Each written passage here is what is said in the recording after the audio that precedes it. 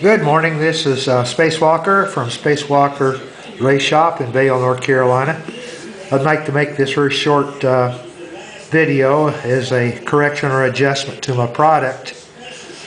The axle polishing kit that I've been selling has a step one of two and a step two of two. The, the step two of two has a little problem. When I packaged it, it had a uh, dispenser on the end like this, and I'm finding that that's been plugging up and I haven't been able to squeeze out the polish, the product to uh, uh, polish your axles.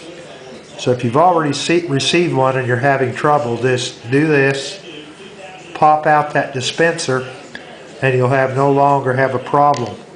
So then you can just put place that up against your handkerchief and, and apply some polish to your handkerchief so you can polish it. Just re, remove the dispenser like so. It pops right out. Then you can replace your cap, shake it, and go, go forward from there. Sorry for the inconvenience, but this should take care of you if you've already purchased some. The ones that I'll be selling in the future, that's going to be removed.